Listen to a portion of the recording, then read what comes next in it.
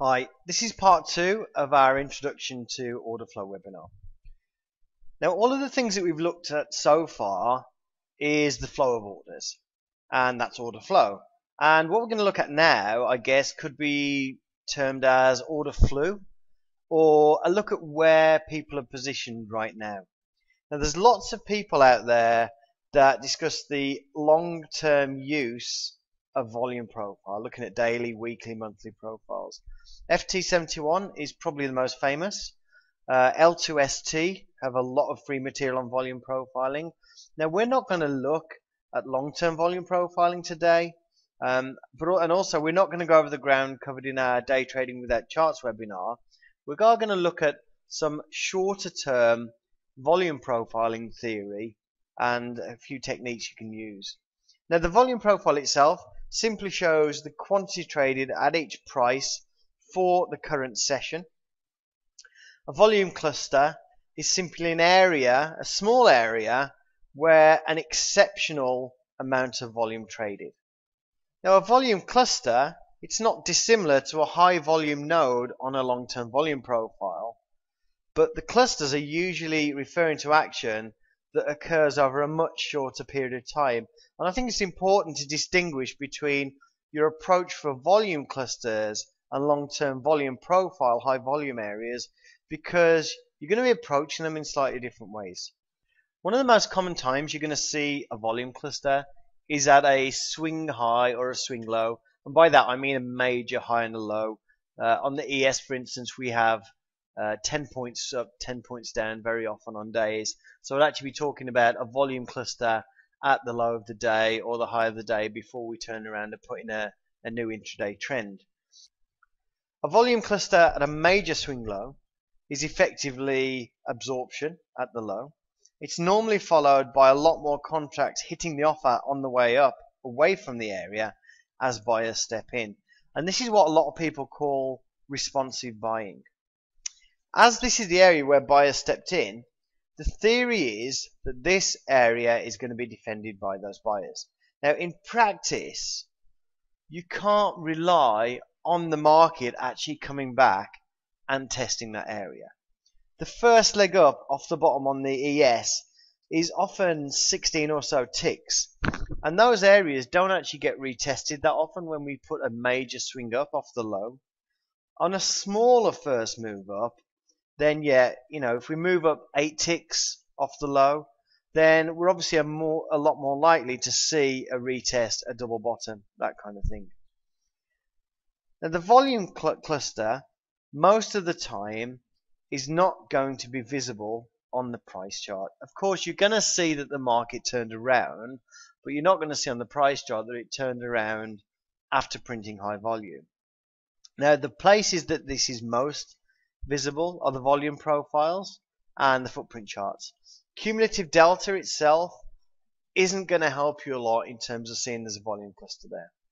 Now, this is an area where we can have a reasonable expectation that the market will hold because of the positions held there.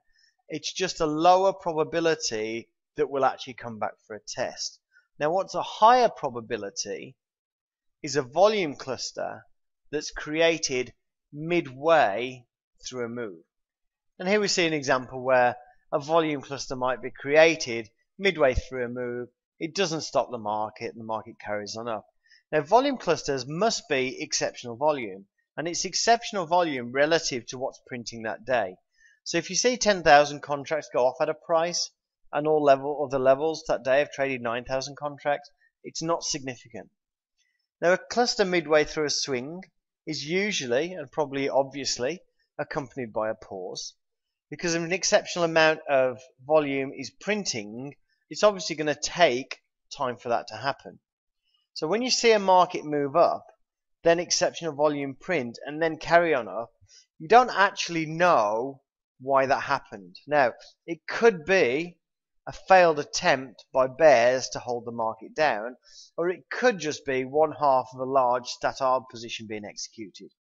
Now, if it was an attempt to hold by the bears, then those people are not going to be look looking at building a short position again anytime soon. So if the bears tried to hold the market down at this point and we move away, those guys are going to get stopped out. So if we come back to those prices, they're probably not going to be in a hurry to short those same prices again.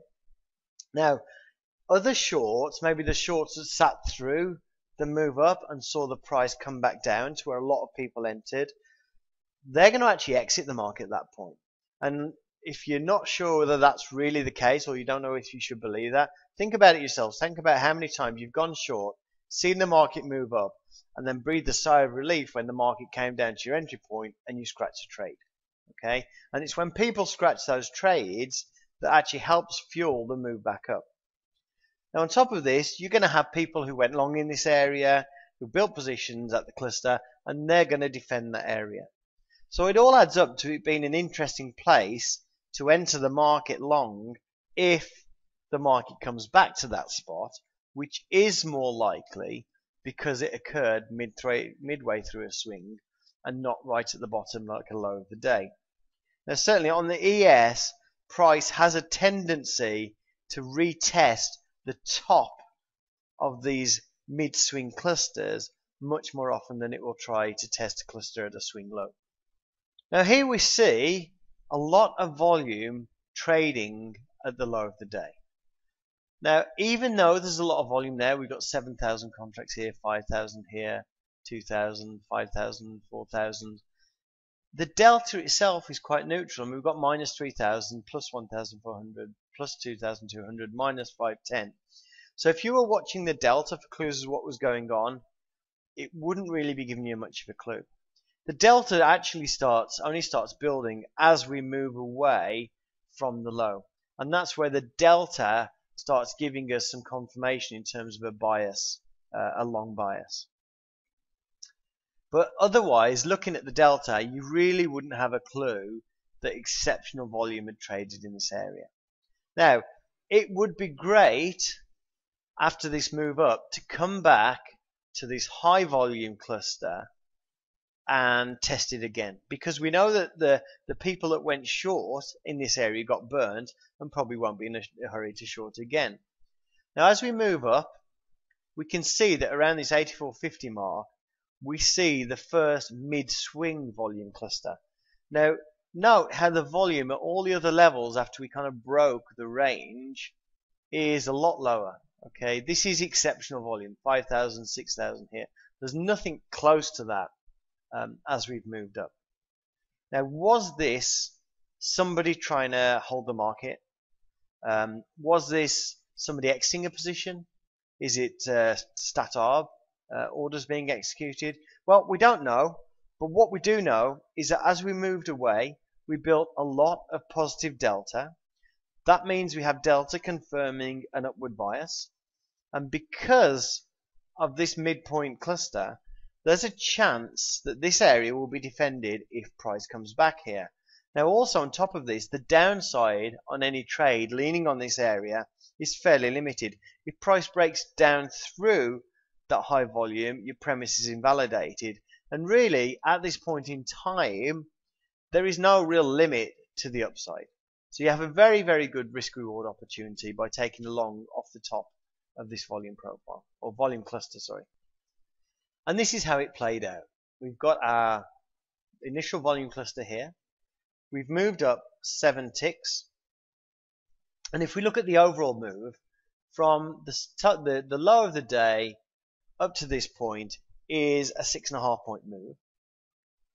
And most people who've been watching the ES for any length of time will tell you that an eight tick pullback is quite normal. So as well as you know, in fact, we've moved up seven ticks from here, um, as well as the order flow or the volume cluster being a good place to come back to. Also, in terms of price action, you know, we're around the area where coming back to this area would actually be a seven tick pullback, which is which is not far off what uh, an average pullback is on the ES. So as we come down, our expectation should not be that we're going to have a retest of all this volume we put in down here, but that will probably stop at this point. Now we can see that as we come down, the delta on this bar on the way down, even though actually the delta actually includes the move up and the move down, we can see the delta is about minus 2000. So we can see that as we come back down, there's no real negative delta. There's no huge push down in delta to say this is actually, you know, a big counter trend uh, force coming in. And as we actually get to our spot, we actually trade at the top of this volume cluster. We can see that 1034 contracts trade there. Now that's not really a quantity that says this is absorption.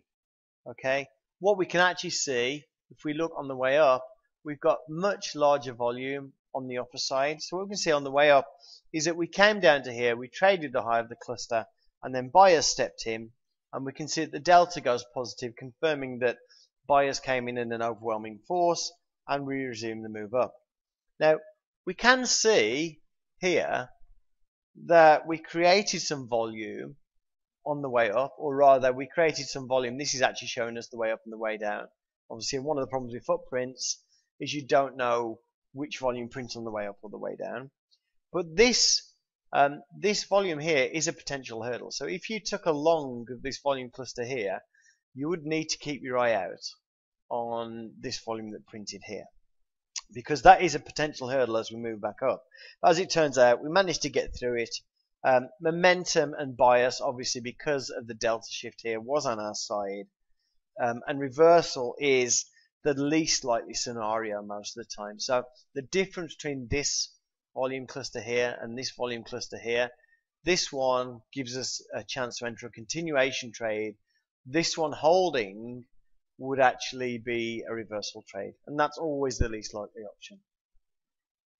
Okay, now this image here shows exactly the same move, the pullback to the high volume uh, cluster created in the midpoint. Now the volume profile is probably not going to talk to you at first, but it is actually my preferred tool for reading the order flow or for trying to figure out where people are positioned. So I much prefer to see just the total than to have it split across different footprints. Now, one of the key benefits is that the volume profile is very, very easy to read. It tells you everything you need to know at a glance. You don't need to spend 20 minutes at it, you know, trying to look at what happened where. Um, it's just, a, you know, literally you can look 20 seconds, you can see what's traded where, and then draw your conclusions from that. So what we have here is the DOM with a volume profile. We can see here this area is the high volume we put in at the low before we started to move up. And then we can see the volume cluster from 18, uh, 1584, 1584, 50 created there.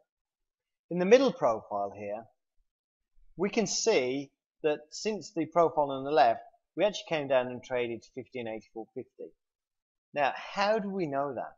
If you look at the volumes printed at 1584.25 and 1584, you'll see they're the same across these two profiles. Now what's also interesting is that 85.25 is now our point of control for the day. The price with the most trades previously was 1582 with 18,100 contracts. And now we have 24,000 contracts at 85.25. And that basically is price acceptance.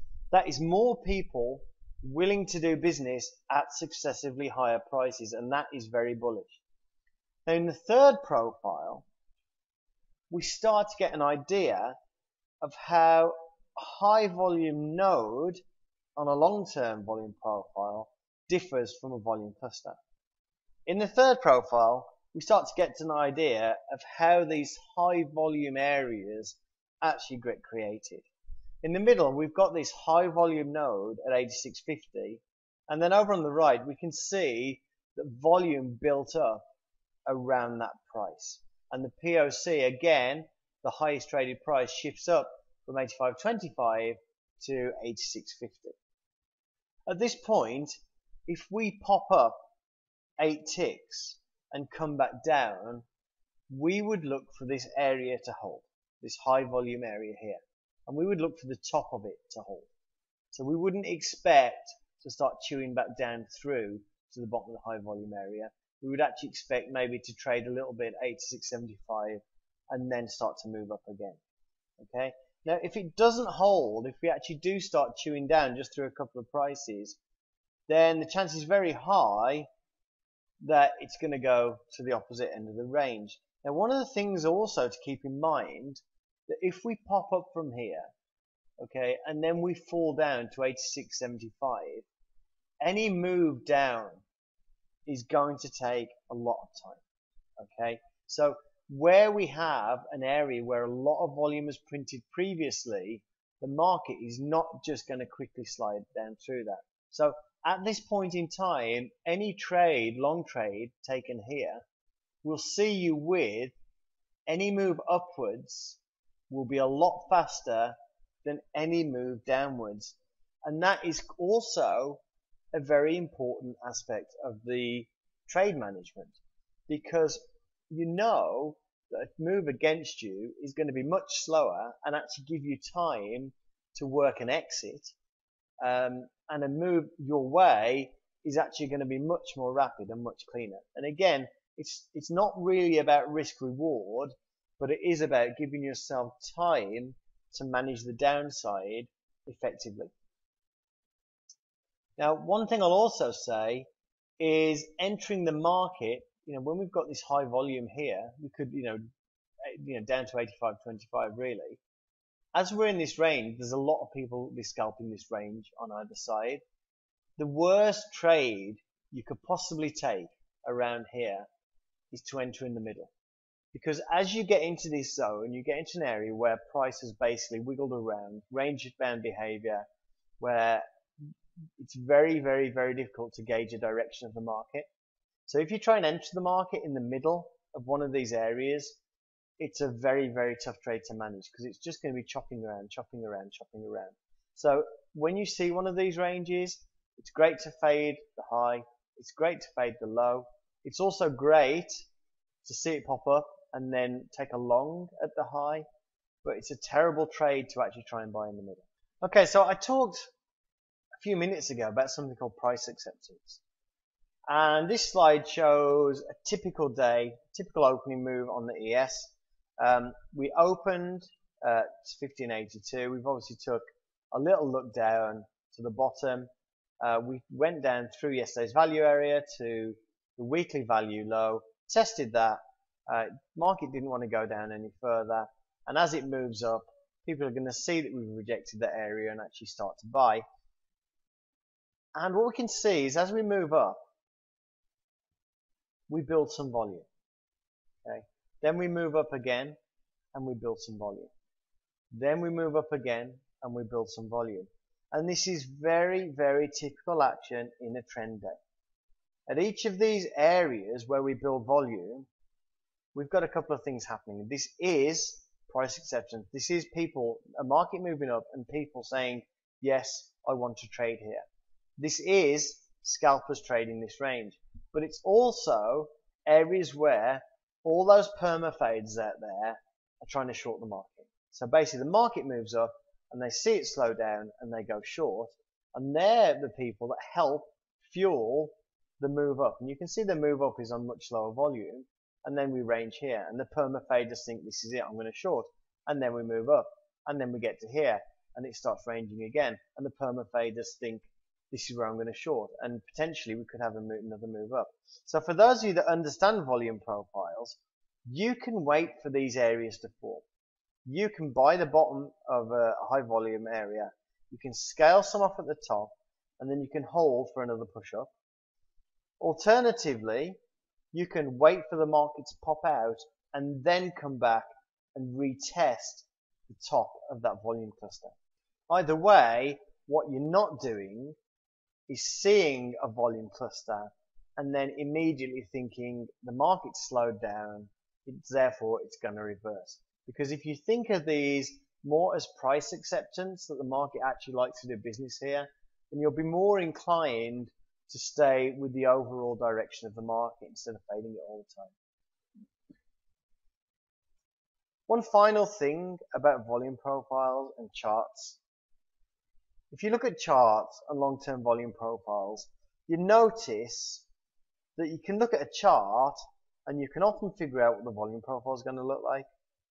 Now you can also look at the volume profile and a lot of times hazard a guess at what the chart will look like. So what's the reason to use volume profile at all? Now if we look at a chart we can take an opinion on support and resistance in terms of where price went. So at the bottom here would be support, at the top here would be resistance.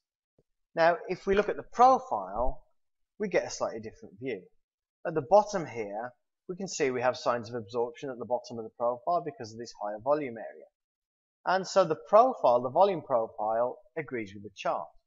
At the top, it's a slightly different story. We have a range of prices where participants traded very, very little, and a range of prices where participants traded a lot. We have this small spike up without a lot of trading.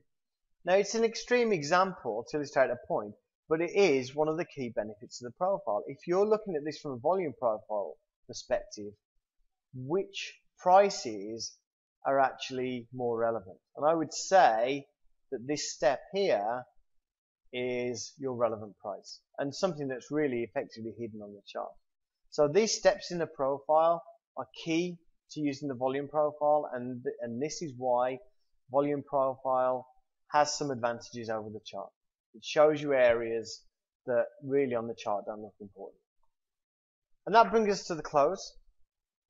Uh, we've covered a lot of material in this webinar, part one and part two, but I hope the message of liquidity consumption, floors and ceilings helps you understand the commonality between all of the order flow tools. Um, order flow reading does require the use of discretion. It is like reading a story but it doesn't mean you don't trade without rules. It just means that every situation is different, but the overall patterns are recognizable with practice. Thank you very much.